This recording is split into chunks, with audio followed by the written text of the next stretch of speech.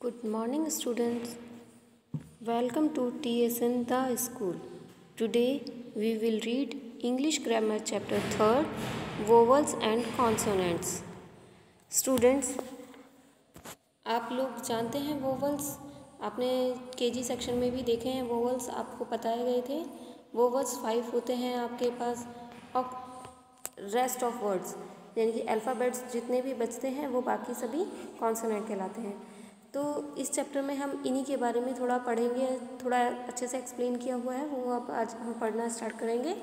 So let start vowels and consonants students vowels को हिंदी में बोलते हैं स्वर, और कॉन्सोनेंट इज़ व्यंजन।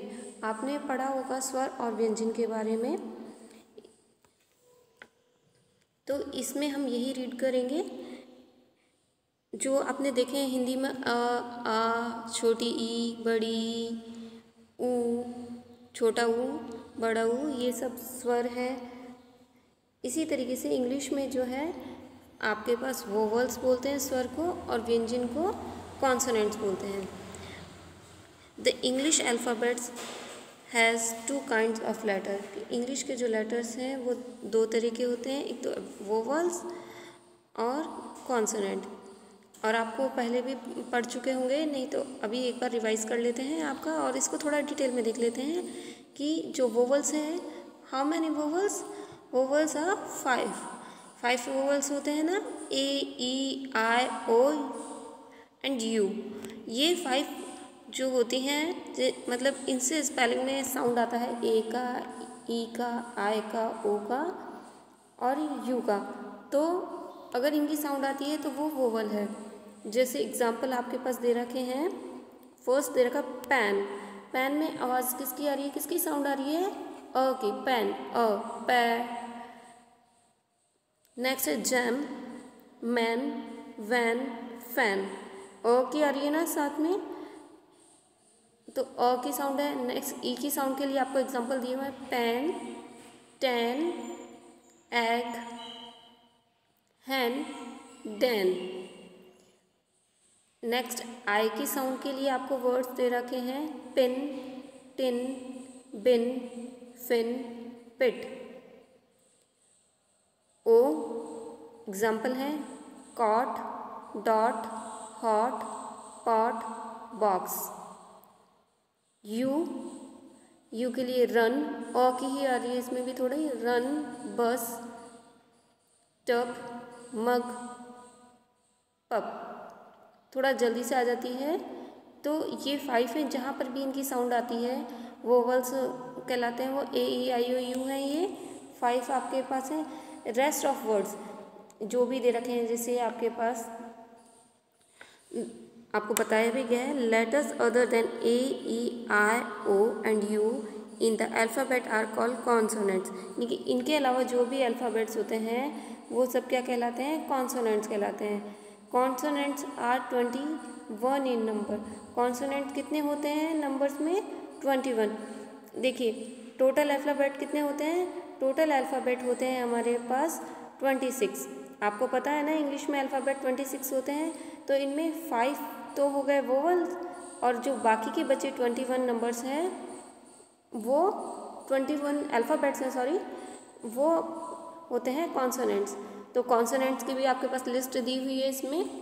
जैसे ए तो वोवल है तो बी सी डी ई भी वोवल है तो ई भी नहीं आएगा इसमें। F G H J K L M N P Q R S T V W X Y and last is Z ये सभी कॉन्सोनेंट्स हैं। Here are some words begin with consonants अब कॉन्सोनेंट से स्टार्ट होने वाले कुछ आपको examples दिए गए हैं। देख लेते हैं उन्हें भी। फ़र्स्ट दे रखा है frog flower ball mango duck देखिए स्टार्टिंग इनकी किससे? एफ़ से है बी से है एम से है डी से। तो ये सभी हमने देखे ना, ये कॉन्सोनेंट्स हैं। नेक्स्ट में bag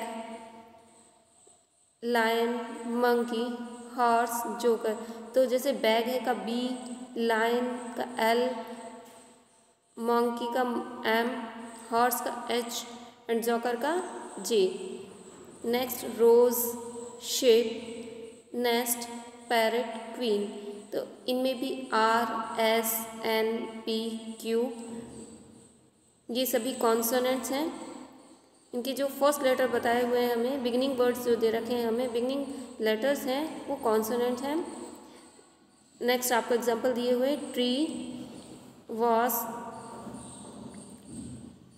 watch Xmas tree and याज तो ट्री का टी वॉस का वी वॉच का डब्ल्यू एक्समस का एक्स और याज का वाई ये सभी भी कॉन्सोनेंट्स में आते हैं। तो स्टूडेंट्स इस चैप्टर में आपके पास इतना ही है कि आपको पता है कि अल्फ़ाबेट्स जो हैं ट्वेंटी सिक्स हैं नंबर्स में और टू काइंड्स होते हैं कि वोवल एंड कॉन्सोनेंट्स वन जो कौन वो फ़र्स्ट जो है वोवल वो कितने हैं नंबर्स में? फाइव हैं, कौन कौन से? ए ई आई ओ यू और जो कॉन्सोनेंट हैं वो इन नंबर्स ट्वेंटी वन है। आपको ये येलो लाइनिंग में जो दिखा रखे हैं, ये सारे कॉन्सोनेंट्स हैं। तो आप इनको घर पे प्रैक्टिस कीजिएगा। जितना प्रैक्टिस करेंगे, उतना ही अच्छे से आपको समझ में आएगा। यही आपका चैप्टर है।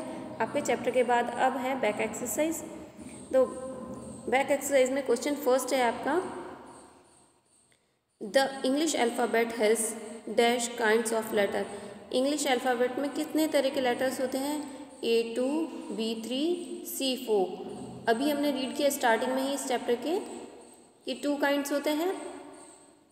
वोवल एंड कॉन्सोनेंट्स तो option A is right answer so A पे टिक कर लेंगे हम.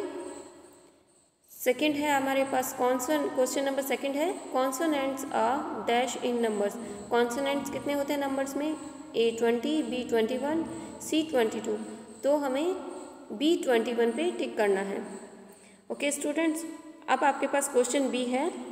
Look at this set of alphabet color all the vowels pink and the consonants blue students ये आपको खुद को करने के लिए दिया गया है सेल्फ करके देखेंगे आप लोग, क्योंकि आप इस चैप्टर को रीड करेंगे बहुत अच्छे से तो आप समझेंगे कि कौन से वोवल्स होते हैं और कौन से कॉन्सोनेंट्स होते हैं। इसमें आपको पूरे अल्फ़ाबेट्स दिए हुए हैं ए टू जेड आपको दे रखे हैं।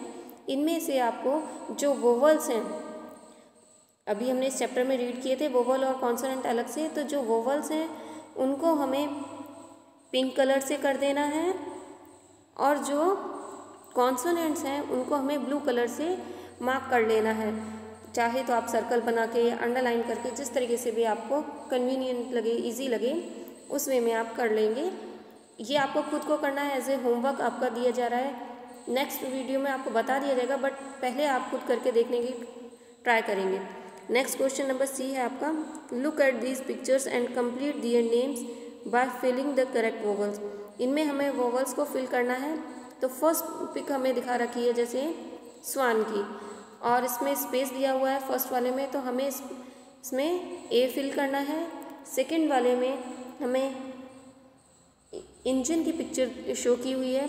तो उसमें हमें फ़र्स्ट में तो ई e करना है fill then N and G हमें ऑलरेडी दिया हुआ है। उसके बाद में हमें आई फिल करना है एन दिया हुआ है ई e फिल करना है। तो सेकंड वाले में ई आई ई ये तीन फिलअप्स में आएँगे। फ़र्स्ट में ई e, सेकंड में आई और थर्ड में ई e. थर्ड वाला है हमारे को जो पिक्चर शो की हुई है उसे शूज़ की की हुई है। तो शूज़ में एस एच हमें दिया हुआ है अल्फ़ाबेट हमें ओ एंड ई जो ब्लैंक्स दे रखे हैं, उनमें फिल करना है एस ऑलरेडी लिखा हुआ है। फोर्थ हमारे पास है अनियन पिक्चर जैसा कि हमें पिक्चर में दिखाई भी दे रहा है तो अनियन के में हमें फ़र्स्ट में हमें ब्लैंक दिया हुआ उसमें ओ फिल करना है एन हम, हमारे पास ऑलरेडी है। नेक्स्ट हमारे पास दो फिलअप हैं, करने हैं हमें तो उनमें हमें आई एंड ओ फिल करना है एंड लास्ट में एन इसमें ऑलरेडी मेंशन है। तो फोर्थ वाले में भी हमें ओ आई ओ फिल करना है। D the words begin, sorry, the words given below have vowels in them. इनमें वोवल्स दिए हुए हैं स्पेलिंग्स दिए हुए हैं, कुछ हमें उनके वोवल्स दिए साथ में तो हमें pick out all vowels and write in the given box तो हमें इनमें से वोवल्स को पिक करना है, उनमें से सेलेक्ट करना है, उनमें से उठाना है और उनको जो जो ब्लैंक वाले बॉक्सेस हैं, इनमें फिल करना है। जैसे फ़र्स्ट वाली स्पेलिंग हमें दी हुई है इंक पॉट इंक पॉट में, इसी स्पेलिंग के अकॉर्डिंग ही हमें देखना है कि इसमें कौन कौन से वोवल्स हैं। जो वोवल्स हमें मिलेंगे, हमें उसमें फिल कर देने हैं, उसके, जो उसके ब्लॉक्स बने हुए हैं, उन ब्लॉक्स में हमें लिख देना है। सेकेंड स्पेलिंग अम्ब्रेला है। अम्ब्रेला में से हमें वोवल्स निकालने हैं, जो हम, आपको समझ आ रहे हैं कि ये वोवल्स हैं तो आपको इसमें लिखना है।